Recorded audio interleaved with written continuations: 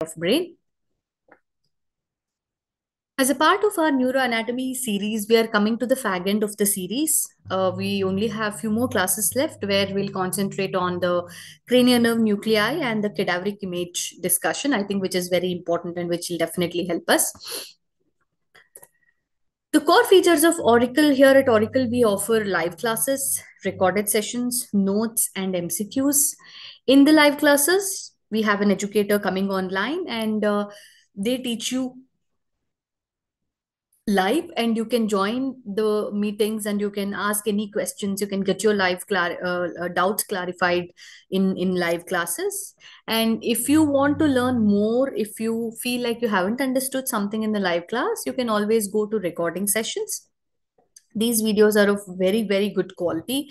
And uh, the content that is there in these videos is more than enough for you to ace your uh, uh, theory as well as your entrance examination. And we also offer you uh, crisp and comprehensive notes that is based on the recent cbme curriculum. And uh, we also have mcqs which will help you to uh, ace your upcoming next examination because next is all going to be integrated uh, uh, you know uh, subjects and everything and these mcqs will definitely help you with that. And live classes also help you to make you stay in track. Know in case you feel like you're going off track and these one one and a half hours of uh, time that you spend in live classes are going to hold you accountable and um, you will be uh, staying on track and uh, the best of all is the personalized counseling session that we have, where you will be given a mentor and a buddy. So they will be like your friend. You can share anything and everything with them, which is academic or otherwise. And uh, uh, they will analyze your strengths, your weaknesses, and where you're good at, where you lack. And they'll give you a proper study plan that is tailored for you alone. And uh, uh, they will hold your hands and make sure that you ace your uh, exams we have three different subscription models. In the basic model, we have pre-recorded sessions, live classes, and quick revision examination modules. And uh, in the standard subscription plan, we also have live doubt clarification sessions and along with all the live classes and pre-recorded sessions. Premium plan is like all-in-one kind of a plan wherein you get pre-recorded class, notes, live classes, live doubt clarification, one-on-one personalized guidance, quick revision examination module. And uh, you can use my coupon code Dr. Sushma 20 for any additional discounts across all three subscription plans.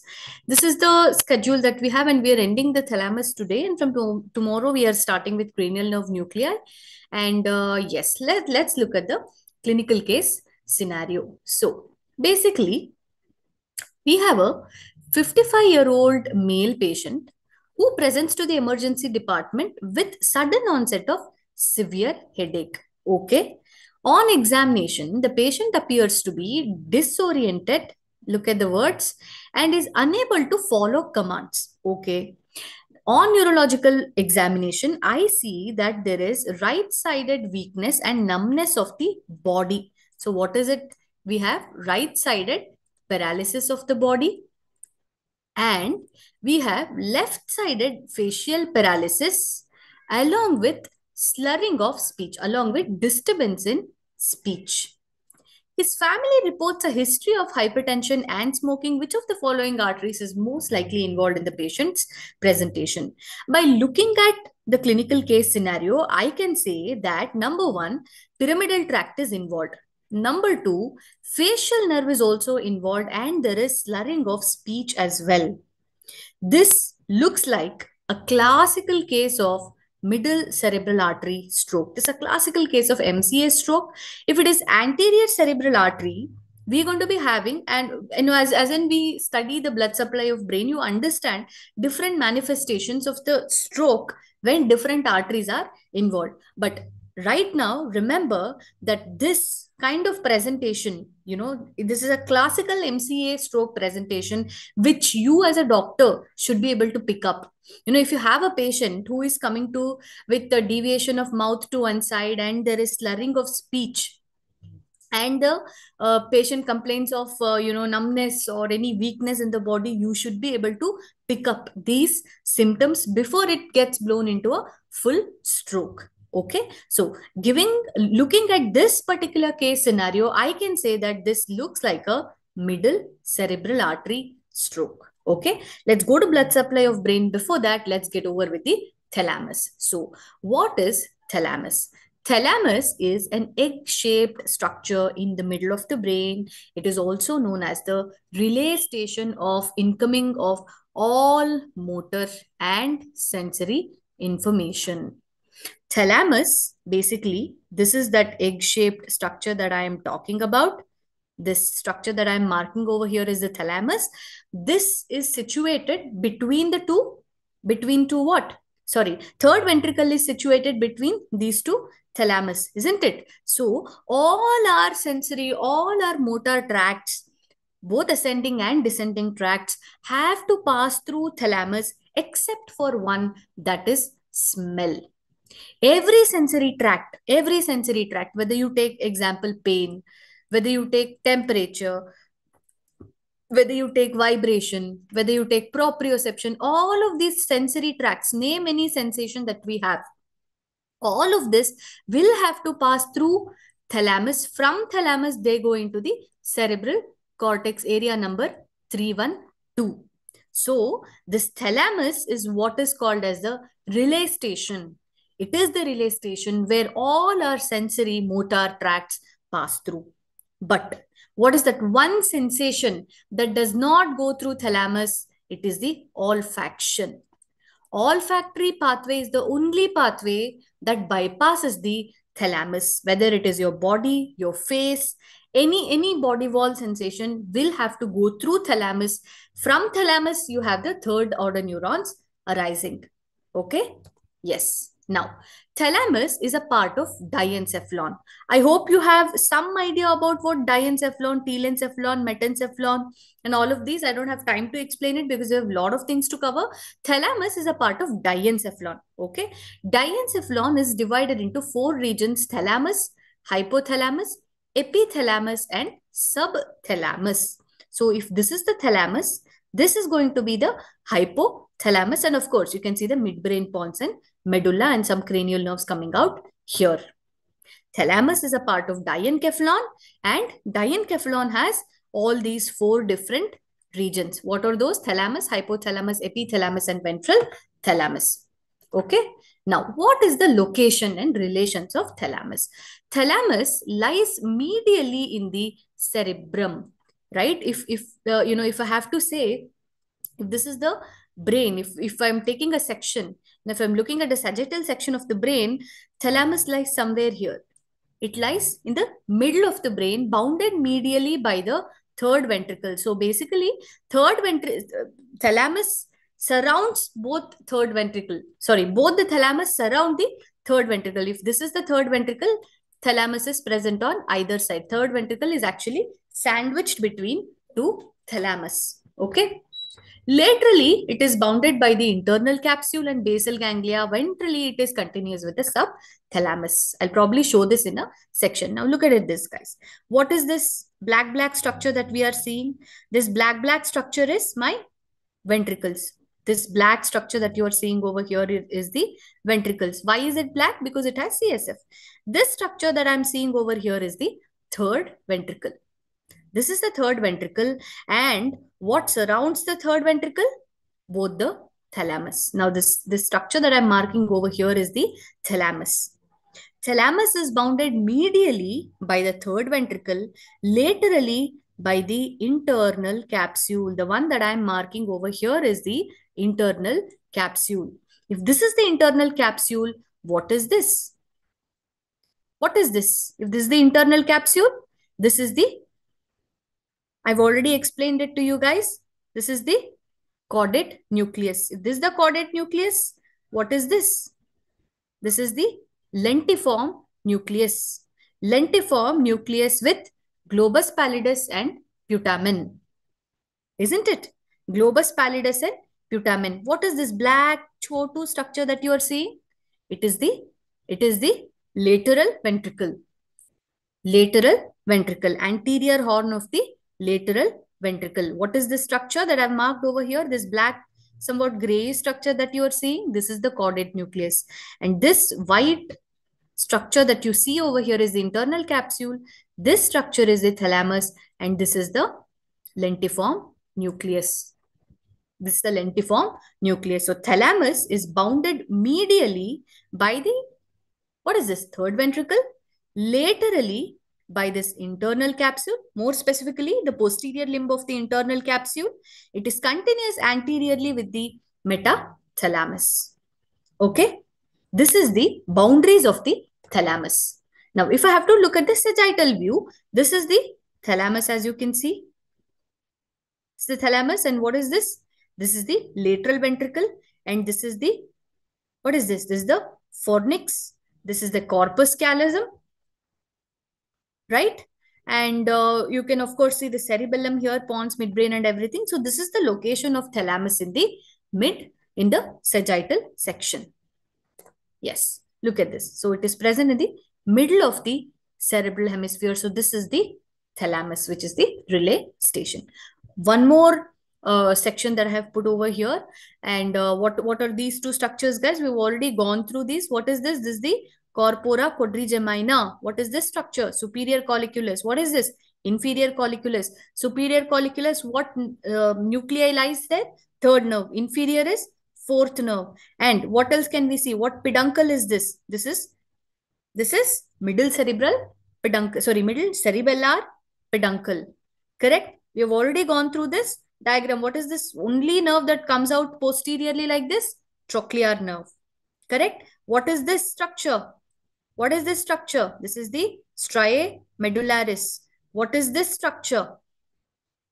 This, the one that I'm marking over here. This is the hypoglossal triangle. It separates the vestibular. What separates the vestibular area from the hypoglossal triangle? It is the striae medullaris. And what is this? Gracile tubercle, cuneatus tubercle. What are gracile and cuneatus tubercle? What nuclei lies there?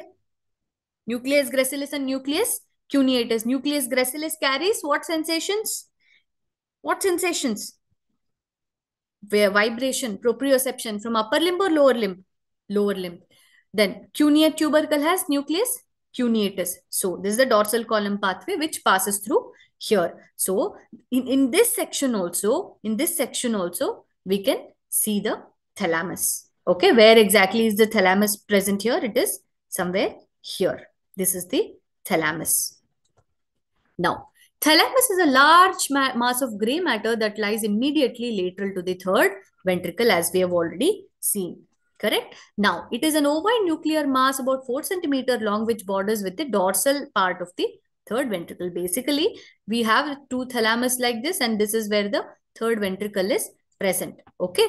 Now, Thalamus has two poles, anterior pole, which lies behind the interventricular foramen because if here is the lateral, um, you know, lateral ventricles and interventricular foramen is here. So anterior pole lies behind the interventricular foramen.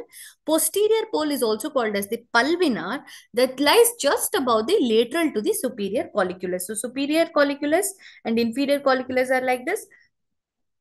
This posterior pole lies just above and lateral to the superior colliculus. This is superior colliculus. Now look at this, guys. This part, this entire part is the thalamus and posteriorly, this part is the pulvinar part and this is where you see the superior colliculus. This is the midbrain part, isn't it? Now this is the mid pons and medulla oblongata you can see and here you can see the cerebellum also. Then this part is the thalamus part. This is the anterior pole and this is the posterior pole and here you can see the interventricular foramina clearly. Next, in the dorsal surface, I'm saying if if I have to look at the dorsally, like suppose I'm holding the brain like this and I'm I've removed everything and I'm looking at the uh, dorsal surface of the thalamus, it is covered by a thin layer of white matter called as stratum zonale. It extends laterally from the line of reflection of the ependyma and forms the roof of the third ventricle. Look at this diagram, guys. Now, where is the third ventricle present? This, this entire area is the third ventricle, isn't it? Now, this posterior aspect of the thalamus is for what forms the roof of the third ventricle. This curved surface is uh, separated from the overlying body of the fornix by the choroid fissure and tela choroidea within it. More, excuse me, more laterally it forms the floor of the lateral ventricles. Okay, related laterally to the caudate nucleus. Why? Because where is caudate nucleus? If this is the lateral ventricles and here is the caudate nucleus and then this is where the thalamus is present. So caudate nucleus also forms a lateral boundary to the uh, thalamus. Okay, just another same picture. Now look at the medial surface. Now the medial surface of the thalamus is the dorsal part of the lateral wall of the third ventricle. It forms the dorsal part of the lateral wall of the third ventricle. It is usually connected by the contralateral thalamus by an interthalamic adhesion behind the interventricular foramina. Not so important for us. Now, the boundary with the thalamus is marked by an indistinct hypothalamic sulcus, which curves from the upper end of the cerebral aqueduct to the interventricular foramina. Again, not so important information, just for the completion sake, I have added all of this. Now, but thalamus is continuous with the midbrain tegmentum. This part is very, very important. And the, also with the subthalamus and the hypothalamus. Look at this. Look at this diagram, guys. Now, this is the thalamus. Correct? This portion is the thalamus and this is the midbrain. Right? The anterior uh, uh, surface of the midbrain is called as this anterior surface of the midbrain is called as tegmentum. The posterior surface of the mid midbrain is called as tectum. So the thalamus that I'm having over here is continuous with the anterior surface of the midbrain, which is also called as tegmentum, which is also called as tegmentum. Tegmentum also forms the posterior boundary of the third ventricle, which we have already discussed in the previous class. Look at this. This is the tegmentum of the midbrain. This is the hypothalamus. The medial surface continues further as the tegmentum of the midbrain. Okay, the posterior surface is called as tectum. Correct? Now coming to the inferior surface of the thalamus, this is related to hypothalamus anteriorly and the ventral thalamus posteriorly. Now ventral thalamus separates the thalamus from tegmentum of the midbrain. All right. Now, up until now, whatever we have studied, we have studied just for the sake of completion, correct? We have studied just to, you know, uh, to know where exactly the thalamus is situated and what are the relations are. But now, this is the most important aspect of thalamus where you have so many questions coming. Okay. Now, thalamus mainly consists of gray matter because you see all of this nuclei that is present here, they're all the part of gray matter. Okay. Now, superior surface is already covered with a thin layer of white matter called as stratum zonale. Not very important for us. Now, lateral surface is covered by a similar layer which is called as external medullary layer. Okay. Again, now the important aspect of thalamus starts here. Internally, the thalamus is divided into anterior, okay, medial and lateral nuclear groups by a Y-shaped sheath which is called as internal medullary lamina. This Y-shaped sheath that you are seeing is what is called as internal medullary lamina. This is called as internal medullary lamina. Now, if you look at the thalamus, like how it is divided, this anterior part forms the anterior nucleus. This lateral part, you know, if suppose if you, uh, you know, imagine this to be the thalamus, this lateral part forms the lateral nuclei, correct? The medial part forms the medial nucleus. So this Y-shaped structure, which is called as the internal med medullary lamina, divides the entire thalamus into three parts. Okay, the first part is the anterior part. Then we have the lateral part. Then we have the medial part. Okay, next. Coming to the nuclei in the lateral part. Suppose if this is the thalamus I have, this is the Y-shaped lamina that I have. Now the nuclei in the lateral part is further divided into two. Okay, it is further divided into two. First part is the ventral group. The group of nuclei that lies over here is the ventral group. Second part is the dorsal group. The group of nuclei lies in this part is the dorsal group. The ventral group of nuclei is further divided into ventral anterior, ventral lateral or ventral, ventral intermedius and ventral posterior. Whereas the dorsal is further divided into lateral dorsal or dorsolateral or posterolateral or lateral posterior. Finally, we have the biggest of it is the pulvinar. Okay, so basically, I'm repeating it. Suppose if this is the thalamus that I have, thalamus is divided into three parts by this lamina, correct? This is the anterior part, medial part. This is the medial part and this part is the lateral part. Lateral part is further divided into two structures or two parts by this. Now, the first part is called as the ventral part. The second part is called as the dorsal part. Ventral part is further divided into three different groups, ventral anterior, ventrolateral, ventral posterior, whereas the lateral group is further divided into lateral dorsal, lateral posterior, and pulvinar. That's it. Now, other thalamic nuclei which are there, uh, uh, you know, uh, like intralaminar, which is uh, embedded within the inter internal medullary lamina. There is midline nuclei. There is medial and lateral geniculate bodies, which these are important. These two, internal laminary and midline nuclei is not so important, but medial and lateral geniculate body are the ones which are the most important. Medial geniculate body, M for music. Music is connected to auditory cortex. Lateral L4 light is connected to visual pathway. Visual pathway. Now, if I have to ask you a question, which part of the midbrain, it's a question to you guys, which part of the midbrain is connected to auditory pathway. We have two brachiums, right? Superior brachium and inferior brachium, which is connected to superior colliculus and inferior colliculus. Correct? Now, superior brachium is connected to which? MGB or LGB? Inferior brachium is connected to what? MG or LGB? It's a question of the day for you guys. Okay? Just go back to midbrain and learn superior brachium is connected to whether MGB or LGB, inferior brachium is connected to MGB or LGB. This is a question for you guys. Okay. Now look at this. The diagram that I had drawn. Simple. This is the medial group and this is the dorsal group. This is the anterior group. Simple. When you draw the thalamus, even in your, uh, you know, physiology, just make a simple diagram like this.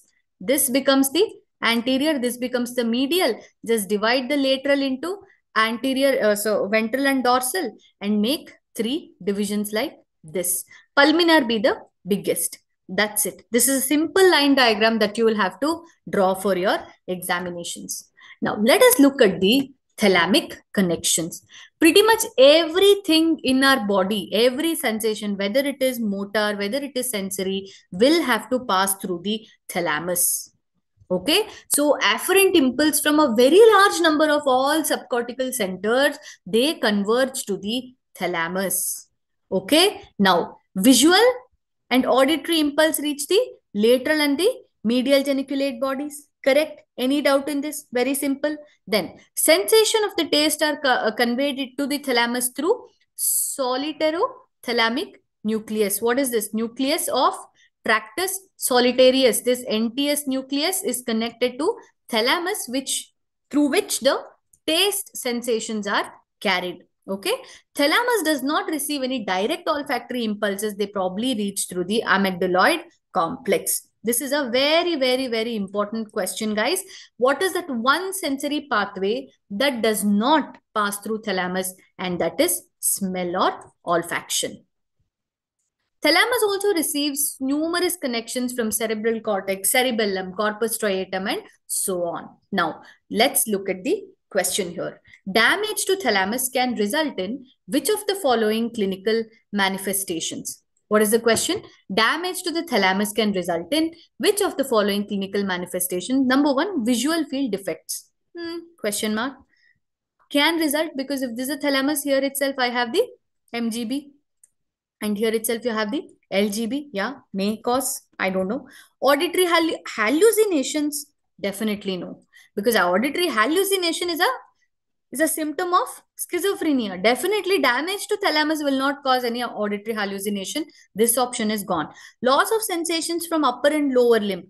Again, they haven't specified what sensations Next, loss of voluntary muscle control? Definitely not because there is no damage to pyramidal tract as such. So I cannot say that. So out of these two, visual field defects is highly unlikely because they haven't mentioned any particular, uh, you know, reference to LGB. So I cannot say that it is visual field defects, but loss of sensation from upper and lower limb is the answer for this because every sensation from upper and lower limb, whether it is pain, temperature, proprioception, conscious and unconscious. Sorry, unconscious goes to cerebellum, proprioception and uh, uh, vibration, fine touch, crude touch, all of these sensations eventually have to go to thalamus. From there, it goes to cortex, right? So any sensation from upper and lower limb, when it is lost, I'm suspecting a lesion in the thalamus. Therefore, thalamus is regarded as the integrating center where all the information from all the sources is brought together. From the thalamus, it is projected into cerebral cortex through thalamocortical projections. Correct? These thalamocortical projections are called as thalamic radiations. Now, what are these thalamic radiations? First, superior thalamic radiation, posterior thalamic radiation and ventral thalamic radiations. We have three different thalamic radiations. That's it. Superior, posterior, anterior relations. From Because look at the size of the thalamus. If this is the size of the thalamus, this is the size of the cortex. Now, to be able to reach to be able to reach the uh, you know cortex and then supply it i need this radiation of fibers. They the fibers come from thalamus and they radiate like this right? Fibers they cannot just send it like this. What it does is it radiates the fiber. It radiates the fibers like this so that it reaches the appropriate areas of the thalamus. So in that this area is the superior this is the anterior and this is the posterior. This area is the posterior. Now, what are the connections of the ventral group of nuclei? Only you have to remember the ventral group because uh, these are specific connections. The non-specific connections is there, which we are not supposed to, or which I would suggest that you don't have to know it. Okay. Now, look at it, guys. So first, take the example of all the ventral. Okay. Take the example of ventral. And then, oh, I don't have a uh, this nucleus. I mean, I don't have a empty slide, that's okay. Now, look at the cerebral cortex sensory area 312. Okay. If it is the sensory area 312, what kind of sensations do you expect to go there? Number one, pain, temperature, and all of this. Pain, temperature, and all of this is a part of dorsal column pathway. Dorsal column pathway forms what lemniscus? Medial lemniscus. Similarly, I also have vibrations, proprioceptions, and everything which come from the spinothalamic tract. Correct? The spinothalamic tract also will have to go to the same, uh, you know, the somatosensory area of cerebral cortex. Agree? Yes. So that means, obviously, I will have the relay of these two tracts at some uh, nucleus of the thalamus. Question is, what nucleus does it go and relate to? Okay, next. We also have trigeminothalamic tract. So what is this trigeminothalamic tract? All of the sensations from the face, right? Whether it is uh, pain, temperature from the face, and uh, also taste, right? Any sensation from the face and any sensation from the body will have to go to the thalamus. And the nuclei that it goes to is the ventral posterior nucleus this ventral posterior nucleus, suppose if I have to write the nuclei like this, ventral nuclei. So this is ventral anterior, this is ventral intermediate, this is ventral posterior, which has two parts, ventroposteromedial, ventroposterolateral. So this VP ventroposterior nucleus is the one which gets sensations from the body as well as from the face. Look at it, guys. VPM. M means mouth. Where is mouth present? Mouth is present on the face. So what pathway do carry the sensations from the face to the thalamus is trigeminothalamic tract. And also fibers from the NTS, nucleus tractus solitarius. Whereas lateral, L for limbs. Limbs means body. All the body sensations which are carried by medial lemniscus and spinothalamic tract, they go to the ventroposterolateral you know, uh, ventral posterior nucleus. From here, they go to 312 area. One thing is sorted. After 312 area, what else do we have? Now, if you look at the uh, Brodmann areas, first we have the 312 area, correct? Then we have area 4, which is the motor area and here is the premotor area, correct? Premotor and supplementary motor area is present before the sensory area 312, right? Now, from the posterior part, I have the, what else was there here? From the ventroposterior part, I had the sensation from the body and the face.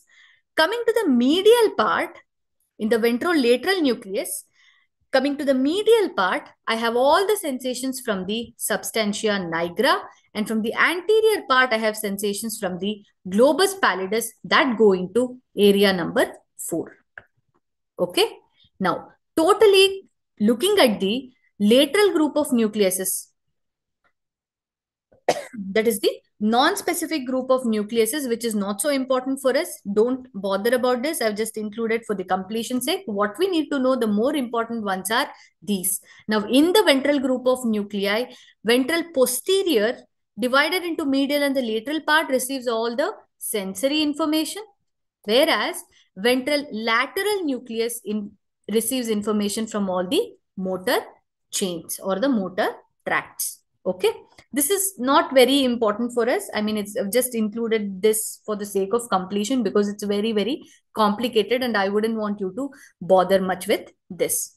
Then medial and lateral geniculate bodies are the oval collections of the gray matter situated the below the posterior part of the thalamus. Traditionally they are under the metathalamus but functionally they are under thalamus. Okay? Yeah.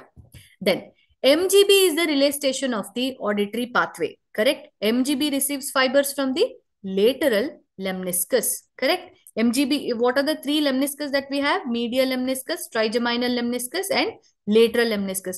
Medial lemniscus is the dorsal column pathway. Trigeminal lemniscus is the trigeminal uh, fibers. Lateral is from the auditory pathway, correct? Always always remember guys lemniscus is formed only after the decussation so all of the neurons that are forming lemnisci are always second order neurons. These points about lemniscus is very very very important for us. Okay? Next. Fibers arising from the medial geniculate bodies they constitute the acoustic radiation. Not so important for for us. Then let's go to the lgb lgb is the relay station for the visual pathway. It receives fibers from retina of the both the eyes. I hope you know from retina it becomes the optic nerve, then optic chiasma, then optic tract, optic radiation. Finally, it goes into the uh, occipital lobe where the auditory, uh, sorry, visual cortex is present. So where is LGB coming into picture out of all this? Where is LGB coming into pictures? Optic tracts, they end in the LGB. From there, the optic radiations arise, which go. So when I talk about, spoke about the thalamic radiations here, guys, this posterior thalamic radiations are nothing but my optic radiations. Why is it posterior? Where is the occipital lobe present? It is present in the posterior area. Thalamus is much anterior. From the eyes, the fibers enter into the thalamus. From the thalamus, they go into the occipital lobe.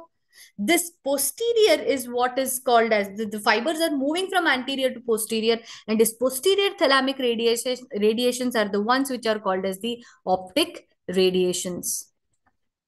Optic radiations. Okay.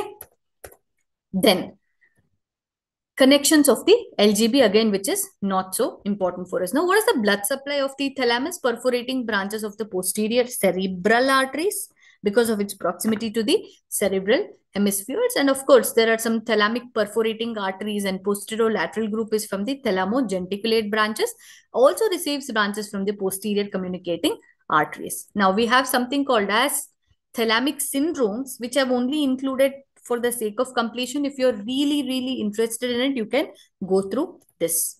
Let's go to the blood supply of the brain, which again takes a lot of time. I hopefully we finish it. Now, the entire blood supply of the brain and the spinal cord depends upon the two systems. First is the vertebral artery, which arises from the subclavian artery. Second is the internal carotid artery, which is a branch of the common carotid. One set of arteries come from behind. They are the vertebral arteries.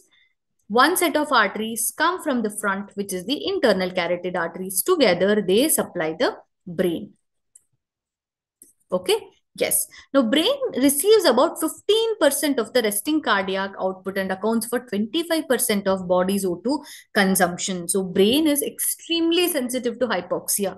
Even if there is some 20 seconds of uh, hypoxia is good enough to seize all the electrical activity in the brain three to minutes of uh, four minutes of brain ischemia leads to irreversible brain damage. There is a reason why you should be able to pick up the strokes faster. If a patient comes to you with slurring of speech, all every second that is spent is golden for us. Okay. Now, arterial supply of the brain. So 80% of the blood supply of telencephalon and diencephalon goes from the ICA. About 20% is from the vertebral arteries. Vertebral arteries mainly supply the brainstem and the cerebellum. Okay. Now, internal carotid artery. ICA, ICA is a branch of common carotid artery. This is the carotid sheath.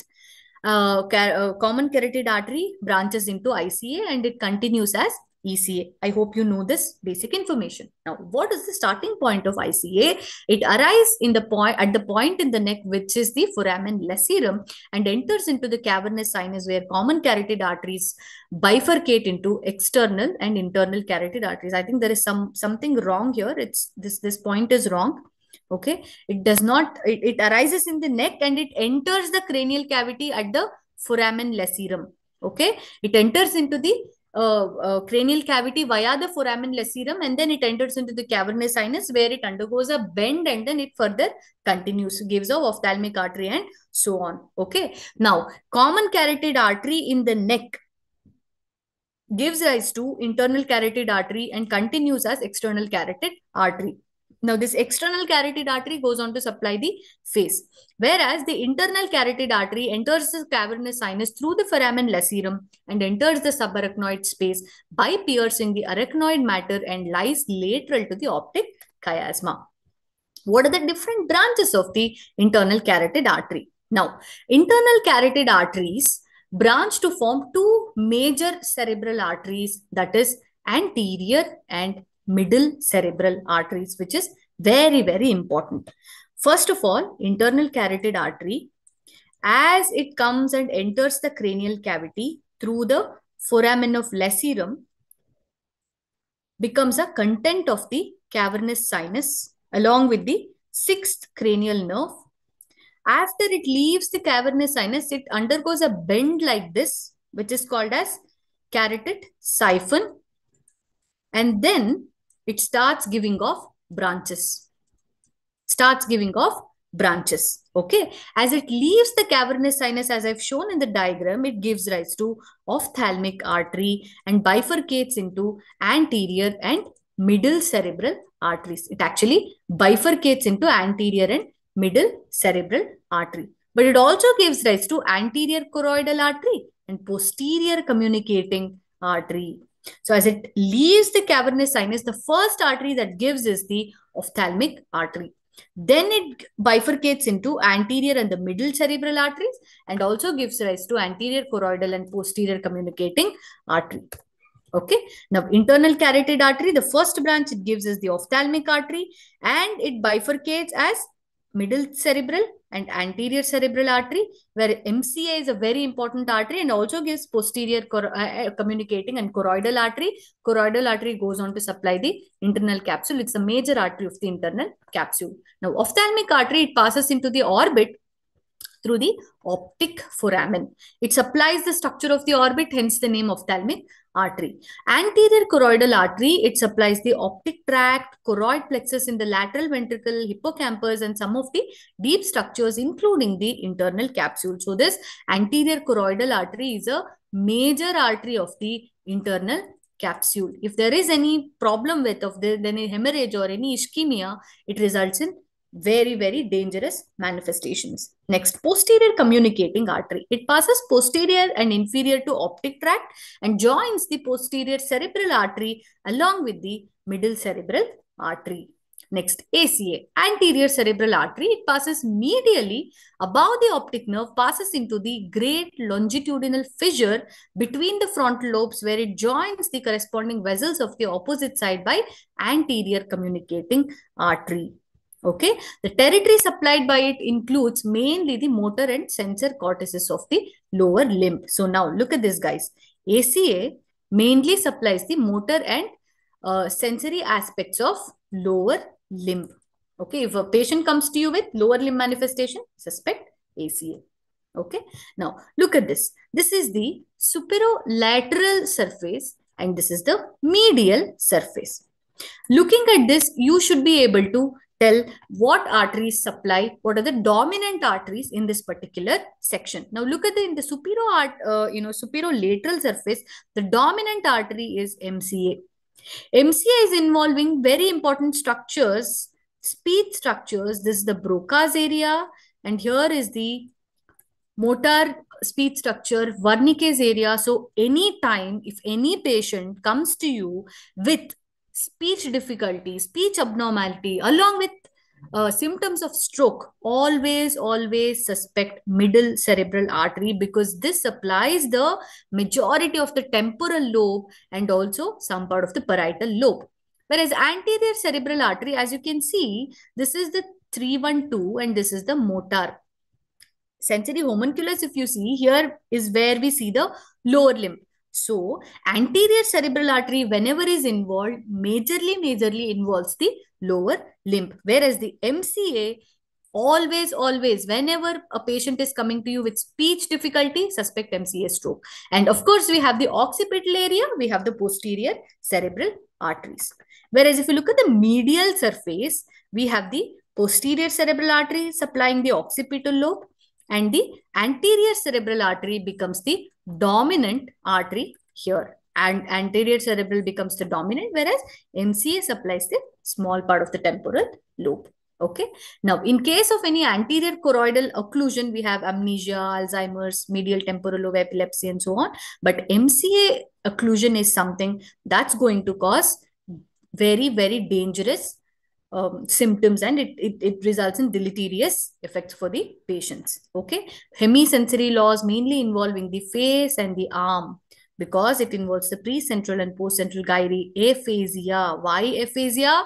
Because look at the diagram, guys. It is involving the very, very important speech structures, Broca's as well as Wernicke's area. Contralateral homonymous hemianopia as well. Next, let's look at the vertebro-basilar system. Vertebral arteries, they arise from the subclavian arteries. Okay. And then they enter into the spinal cord and they finally join to form anterior and posterior spinal arteries. Okay. These spinal arteries, as from the spine, uh, uh, you know, right subclavian artery, you can see how the vertebral artery goes, come, goes and goes and goes, and it gets joined by the opposite side vertebral artery to form the basilar artery. Okay. These two vertebral arteries from the subclavian artery enters the cranial cavity through the foramen magnum where it gives rise to three branches. Number one, posterior spinal artery. Number two, anterior spinal artery. Number three, posterior inferior cerebral artery. This is very important, called as pica. Pica is a branch of vertebral arteries which supplies the posterior and inferior aspect of the cerebellum. Posterior and inferior aspect of the cerebellum is actually supplied by pica. Next, two vertebral arteries give rise to this artery which is my basilar artery. Okay, left and the right arteries, they join together to form the basilar arteries, which unite at the junction between the medulla and pons to form the basilar artery. Actually, these arteries run over these anterior structure of the pons. Okay, basilar artery runs over the anterior structure of the uh, pons. It gives rise to number one, antero-inferior cerebral artery. Number two, superior cerebral artery. Of course, pontine arteries because it runs over the pons, labyrinthine arteries, and posterior cerebral arteries. What are the different arteries uh, given by basilar artery? Number one, very easy to remember, pontine artery because it runs over the pons. Number two, it gives rise to AICA. Then it also gives rise to superior cerebral artery, labyrinthine artery, which is actually, uh, you know, labyrinthine artery can be said there is a branch of anteroinferior cerebellar artery. And also it gives rise to posterior cerebral artery. Okay, important, very important. The brainstem, cerebellum, and occipital lobe, all of this is supplied by this vertebro-basilar system. Whereas the cerebrum, cerebral cortex, parietal lobe, and the temporal lobe, all of that, all of those lobes are supplied by ICA system. Whereas the posterior aspect of brainstem, cerebellum, all of this is supplied by vertebro-basilar system. Okay. Now, pontine arteries, Name only says it supplies the pons. AICA, it supplies the anterior and inferior portion of the cerebellum. Cerebellum is supplied by pica and AICA. Right? Labyrinthine artery, name only as, as it suggests, it supplies the inner ear. Occlusion leads to vertigo and so on.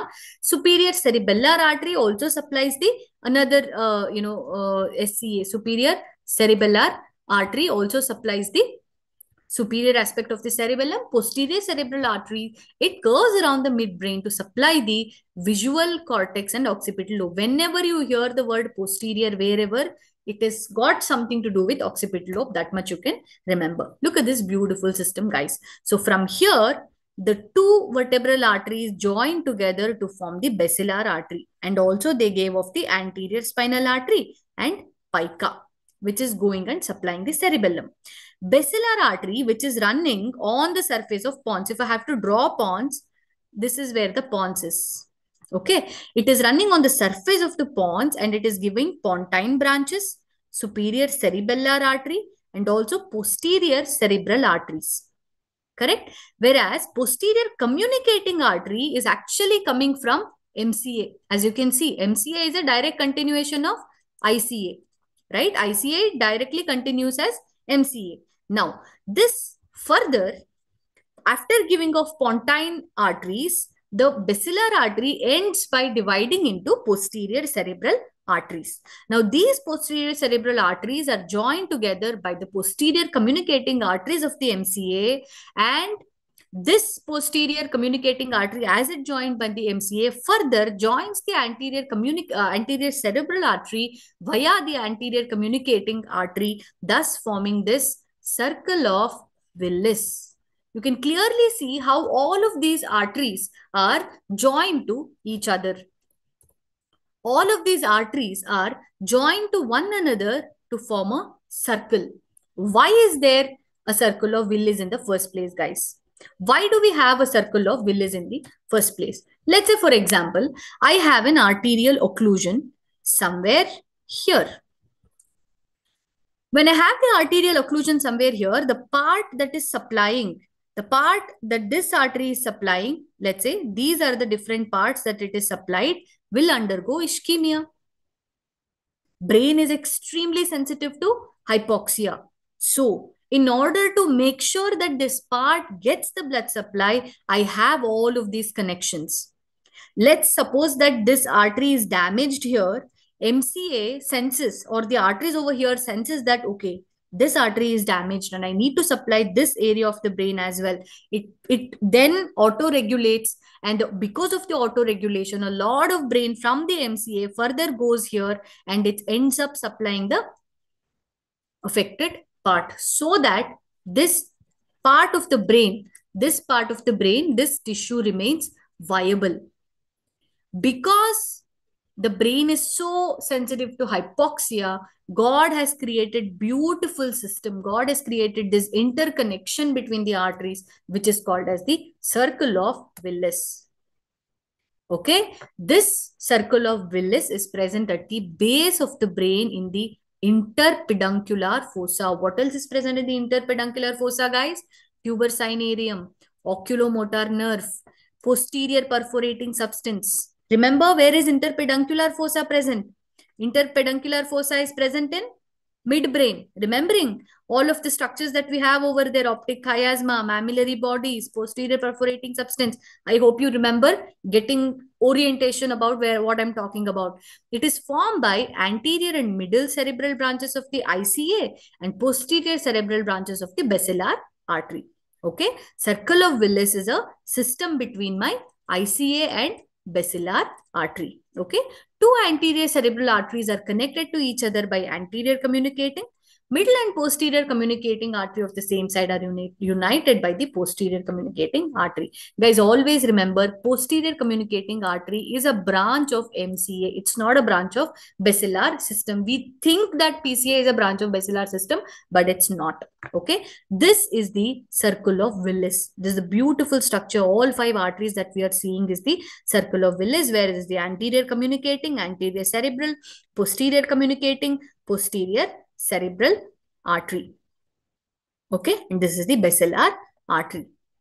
This beautiful structure which makes sure that even though when there is ischemia, other parts of the arteries, other parts, they take over and make sure that the part that affected remains viable. That beautiful structure God has created is the circle of Willis. Okay, let's take some questions. Now, posterior cerebral artery is a branch of which major artery? Is it a branch of internal carotid? What is this? Posterior cerebral artery. Posterior cerebral artery. Now, let's look at the diagram to find out posterior cerebral is a branch of which artery. Okay. Internal carotid is here. M direct continuation of MCA. Okay, it is giving rise to posterior communicating artery. And here it is giving rise to anterior communicating.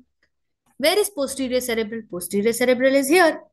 It is a branch of basilar artery. Basilar artery, in fact, continues as posterior cerebral artery. Okay. Once vertebral arteries join, it form the basilar artery. Basilar arteries further continue as this posterior cerebral arteries, which further are joined by the posterior communicating. This is the MCA. This is anterior communicating. These two are the anterior cerebral arteries. So this region is what is the circle of Willis. Okay. Now this posterior cerebral is a branch of my basilar artery. Damage to middle cerebral artery can lead to deficits in which of the following functions? Visual perceptions, not really, because mainly, uh, you know, uh, anything that is related to posterior, let's say posterior cerebral, posterior cerebellar. So all of these posterior ones are supplying the occipital lobe. So it's unlikely that MCA territory will cause any visual defects. Motor control of lower limbs. Again, no. Why? I explained to you, ACA damage, anterior cerebral artery damage is what causes motor control of lower limbs. Auditory processing, again, no. Regulation of body temperature? Again, no. It, it actually is a, I'm sorry, this should have been anterior cerebral artery. So that damage to anterior cerebral artery can result in motor control, loss of motor control of lower limb. ACA territory, when it is damaged, it causes motor control of lower limbs will be lost. MCA will result in much, much more severe form of stroke. Only lower limb when it is lost, it is the ACA territory. Okay. I hope you found today's class to be useful. And I, uh, you know, uh, really hope that you're you're making best use of these classes and you're enjoying these classes. And uh, today's session, although not so important for your entrance examination, or sorry, uh, for your board examination, but I'm sure one or two questions will come from today's topic. Thalamus is majorly a physiology topic, but circle of Willis and blood supply to the uh, blood supply of the brain is quite important. I hope you've understood. Very easy concepts, very easy to understand. Just go through the same things again and again, and I'm sure you will ace your examination. Okay. Thank you so much. If you have any doubts, you can always follow us and uh, across all the social media handles. You can ask me doubts uh, by connecting to us over here. And uh, tomorrow sessions, we'll be starting with cranial nerves and cadaveric sections and so on. And keep studying, keep reading. I'm sure you will pass the exams. Thank you, guys. Thank you so much. And I wish you all the very best and uh, good night. Thank you.